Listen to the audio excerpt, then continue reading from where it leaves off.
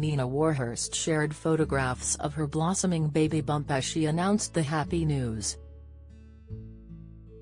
The presenter told her followers that she is due in the summer and that the first few months of her pregnancy had been funky.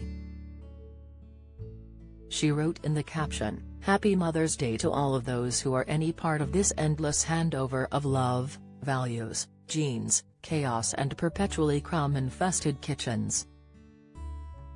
I'd like to say you got this mama. But maybe you haven't.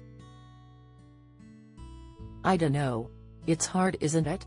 That said we are doing it again. It's been a funky few months.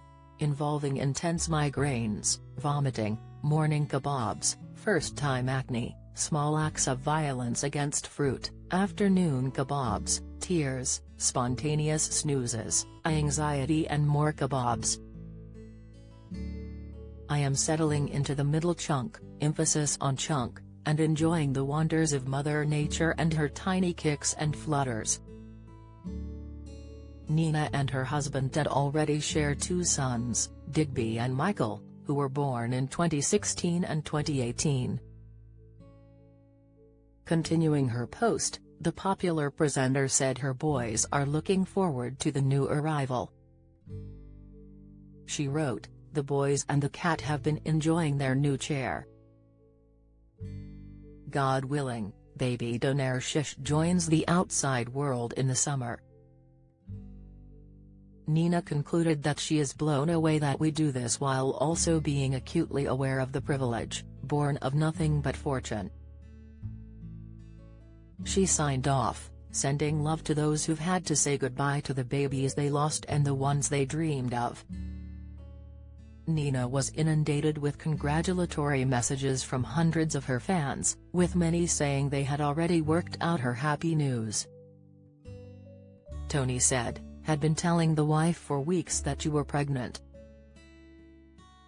Well now it's official and huge congratulations to you and your family on the bump. Don't miss. Denise Van Outen opens up about strange relationship with ex-husband. Insight, Elton John joins growing list of celebs to snub Harry and Meghan, News, Neighbours actor Peter Hardy found dead on Australian beach aged 66, latest, Andrew echoed, I knew you were pregnant weeks ago. Congratulations. Yvonne gushed, you have been trying to hide it but I thought you were.